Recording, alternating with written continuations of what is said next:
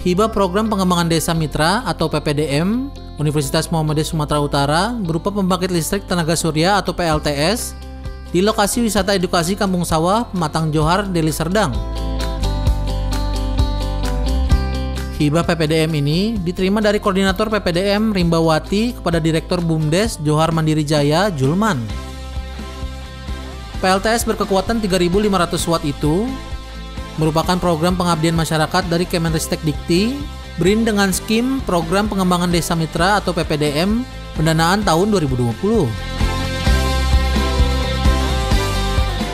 Tim PPDM UMSU menerapkan hasil riset yang telah dilakukan di perguruan tinggi kepada masyarakat. Kali ini mengusung program wisata edukasi Pondok Sawah yang berbasis energi baru dan terbarukan. Ketua Tim PPDM UMSU Rimbawati menjelaskan, Awalnya kapasitas PLTS yang direncanakan 2200 watt, namun saat diaktualisasikan dapat dinaikkan menjadi 3500 watt.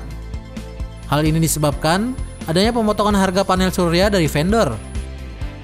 Kaitan dengan uh, pembangunan pembangkit listrik tenaga surya yang ada di objek wisata edukasi uh, Desa Pematang Johar, uh, kemudian kerjasamanya dengan BUMDes, alhamdulillah pekerjaan uh, sudah selesai kami lakukan uh, dan terima kasih kepada Kementerian Ristek Brain yang sudah uh, memberikan kepercayaan khususnya kepada tim dan juga UMSU untuk menyalurkan uh, inovasi teknologi kepada masyarakat. Nah, harapan dari tim dan juga UMSU khususnya tentu uh, ke depan perawatan itu sudah uh, dilakukan sendiri oleh uh, pengelola BUMDes.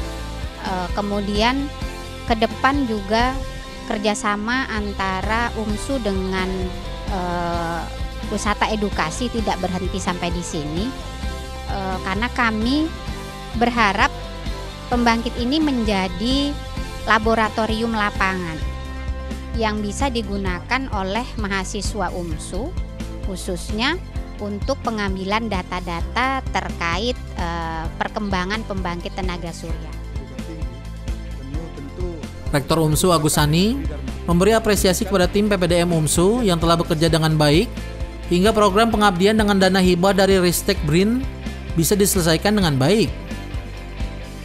Kerjasama UMSU dengan BUMDes Johar Mandiri Jaya diharapkan akan terus dikembangkan dengan program lain seperti pengembangan batik sawah, pembuatan pupuk kompos, hingga pengembangan kuliner untuk mendukung objek wisata sawah.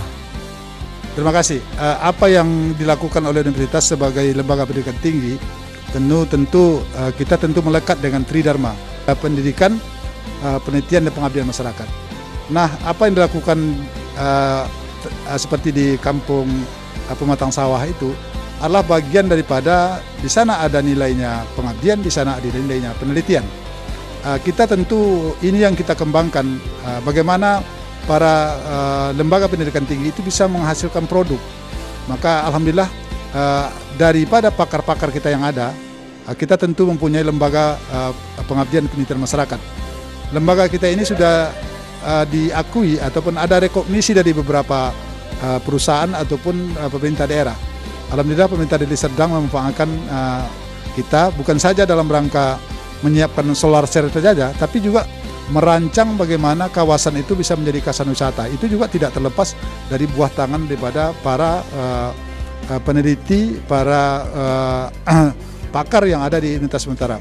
Maka apa yang dilakukan di sana itu adalah bagian daripada wujud kita tidak hanya uh, proses uh, tok dalam rangka akademik, tapi juga tentu kita harus bisa melaksanakan mulai dari hulu sampai hilirisasi. Ya, saya rasa itu kan terus akan berkembang. Karena kreativitas ini tentu sesuai dengan apa yang telah dilakukan di sana, tentu kita melihat potensi-potensi yang mungkin akan bisa digerakkan lagi. Maka seperti kita memanfaatkan kompos, uh, membatik dan sebagainya, termasuk juga menciptakan kuliner-kuliner yang mungkin uh, yang selama ini sudah uh, tidak lagi muncul, mungkin bisa digali kembali. Tim PBDM UMSU yang sukses membangun PLTS di lokasi wisata edukasi terdiri dari ketua tim Rimbawati Teknik Elektro dengan anggota tim Muhammad Yusri Ilmu Kesejahteraan Sosial Zulkifli Siregar Teknik Sipil, dan Muhammad Komari Argo Teknologi.